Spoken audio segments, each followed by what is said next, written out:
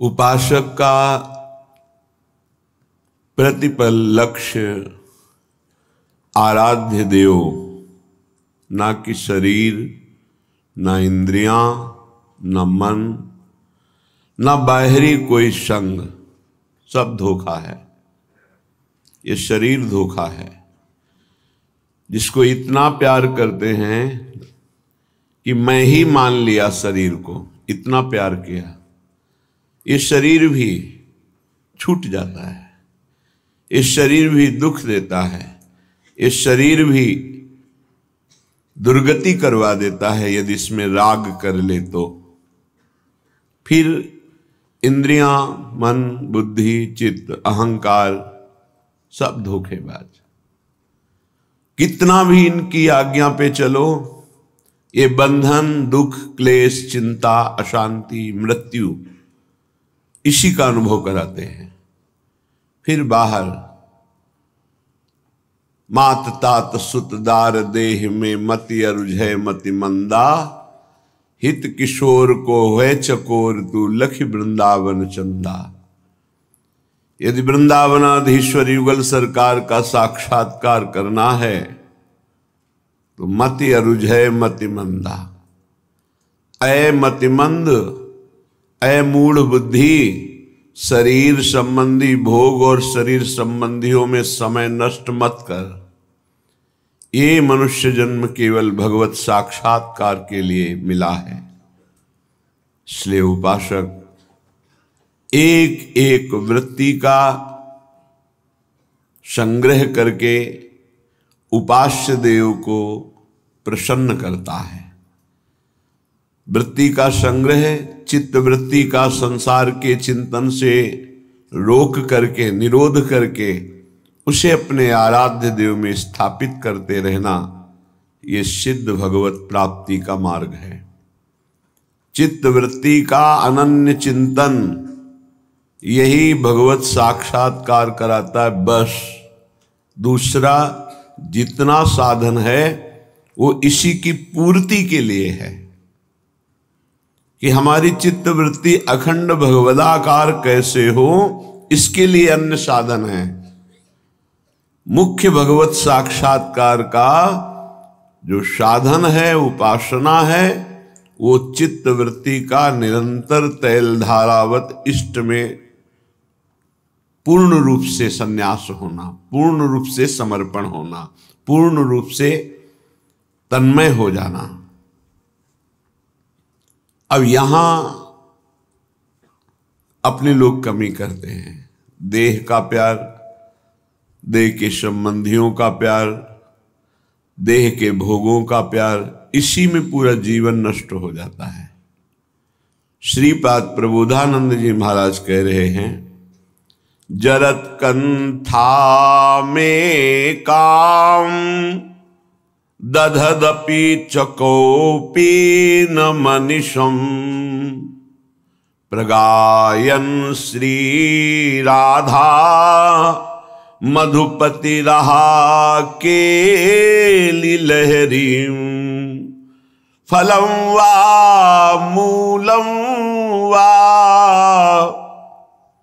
किमपि दिव शांते कवलयन। कदा से वृंदावन भुवि दशाम जीवनमयी। ये यहाँ की सिद्धि है। समझ जाओ तो समझ जाओ, नहीं माया समझने नहीं देगी। जरत कंथा में काम दध दिच कौपीन मनुषम प्रगायन श्री राधा मधुपति रहा केली लहरी। राधा माधव के पदों का गायन करते हुए समय व्यतीत कर रहे हैं, जो यहाँ हो रहा है। बहुत बड़ी बात है प्रभु के नित्य विहार रस के जो पद गाए जाते, बहुत बड़ी बात है। प्रिया प्रीतम से बातें होने लगती हैं। एक स्थिति होती है, न नींद होती है, न जागृत होती है, न तंद्रा होती है। तंद्रा भी तमोगुण के अंतर्गत आती है। नींद भी तमोगुण के अंतर आते हैं। रजोगुण जागृत, थोड़ा सात्विक भी इसमें एक स्थिति होती, त्रिगुणातीत। न सतोगुण, न रजोगुण, न तमोगुण, न जागृत, न स्वप्न, न सुसुप्ति, न तंद्रा। एक अद्भुत स्थिति है। प्रिया प्रीतम से बातें रहे प्रिया प्रीतम से खेल रहे ये पदों का प्रभाव होता है। कह रहे हैं कि जो कंथा धारण करते हैं, कौपीन धारण करते हैं और राधा माधव की गुप्त केली रस से भरे हुए पदों का गायन करते रहते हैं। तुम्हारी समझ में ना आ रहा हो, लेकिन जिनके लिए तुम गा रहे हो, तुम्हारे पीछे पीछे चल रहे वो सुन रहे हैं। नाम बाणी जहाँ श्याम श्यामा तहां। पकड़ नहीं पा रहे हो अभी। नाम बाणी सुनत श्याम श्यामा सुबस, जो श्री राधा माधव के पदों का निरंतर गायन। ये बड़े महापुरुषों की बात कह रहे हैं। हर समय देखा है, हर समय। बस ऐसे ताली बज रही है। कदम्ब के नीचे बैठे या तमाल के नीचे, लाडली कुंज में ये सब थे। चल रहा है। मान लो, ये जो सुन रहे हो, इसको पकड़ लो। ये बड़ी कृपा है जो बात तुम्हें सुनने को मिल रही है बड़े महापुरुषों की। ललिता ललित बजावत बीना, गुण गावत सोई जीवन जी जय पकड़ लो भाई, बहुत बड़ी कीमती बात है। ये जो पद आचार्यों के द्वारा ये बहुत बड़ी सिद्धि प्रदान करते हैं, बहुत बड़ा लाभ प्रदान करते हैं।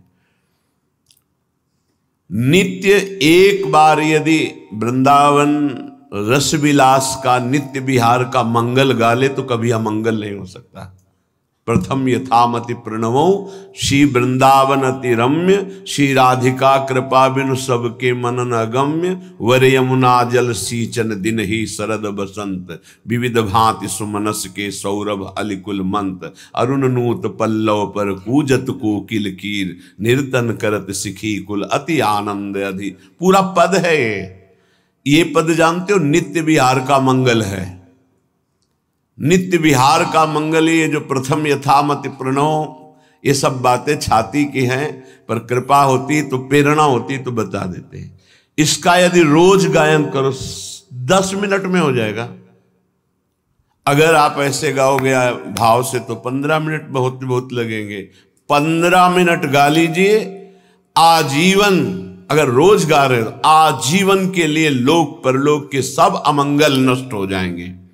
आपके जितने पूर्व पाप हैं, सब भस्म हो जाएँगे। आपके वर्तमान की जितनी गलतियाँ, सब क्षमा हो जाएँगी। आखिरी पंक्ति है, अति उदार वे भी सुंदर, सुरत सूर सुकुमार, जैसे हित हरिवंश करो दिन, दो अचल विहार। आपका अचल विहार दर्शन में सेवन, सेवा करने में प्रवेश हो जाएगा एक पद। यदि आप प्रातः कालीन वेला पर जय जय श्री हरिवंश व्यास कुल मंडना रसिक नन्यन मुख्य गुरुजन भय खंडना, एक बार मंगल गाले और घर से निकल पड़ो तो कहीं कोई जीते विनायक शुभ अशुभ विघ्न करे नहीं कोई। विघ्न करे नहीं कोई, डरे कलिकाल कष्ट भय। कलयुग डरेगा। आप विचार कीजिएगा। अगर हमारी बात श्रद्धा पूर्वक मान लीजिए और नित्य कीजिए, दो मंगल गाइए। एक नित्य विहार मंगल, प्रथम यथामति प्रणवो, और एक आचार्य मंगल। जय जय श्री हरिवंश व्यास कुल मंडना। फिर आप देखो आपकी दिनचर्या कैसी आबाद होती है, कैसे मंगल जागृत होता है। पर वो भगवान की माया है, सुनोगे, कान से निकाल दोगे, उसे पकड़ नहीं पाओगे। वही पकड़ेगा जो कृपा पात्र है। श्री राधा माधव की गुप्त केली रस से भरे हुए अद्भुत पदों का गायन करते हैं। क्या सौभाग्य। शरीर में वृंदावन की रज लगी है। कौपीनवंता, खलु भाग्यवंता कौपीन लगाए हुए हैं। और पवित्र, परम पवित्र, ये जो प्रतिग्रह रहित तो वस्त्र हैं, परम पवित्र हैं।